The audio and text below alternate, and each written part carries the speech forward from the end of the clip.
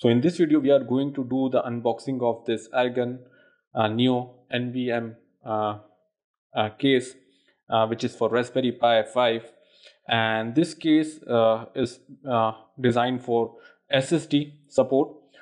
so first we are going to do the unboxing in this video and in later video we are going to embed this case with Raspberry Pi 5 and we will also install Kali Linux and see and what's the difference in speed uh, using uh, Raspberry Pi 5 uh, 8 GB RAM with this case and of course this case supports SSD. So let's just unbox this case.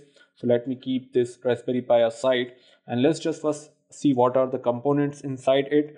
So box contain uh, this case uh, with uh, PWM fan and then there is a support board for NVM which is uh, the support for SSD, manual screws and thermal compound. So these are all the components. So let me just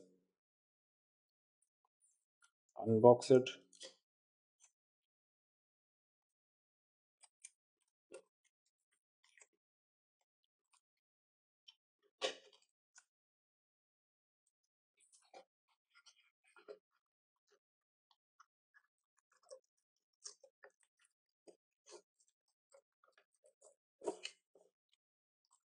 So this is a case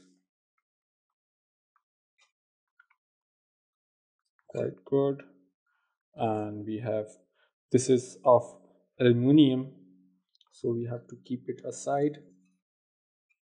And then there is a fan. And in Raspberry Pi 5 there are two separate pins provided for fan uh, in uh, earlier versions of Raspberry Pi, we have to connect it with uh, two pins over here. I think zero and one. I think I don't remember the pin numbers, but we have to use these GPIO pins for the fan. But now there is a separate two two separate pins for fan. So let me keep it over here, and I think these are thermal compounds and screws and all those things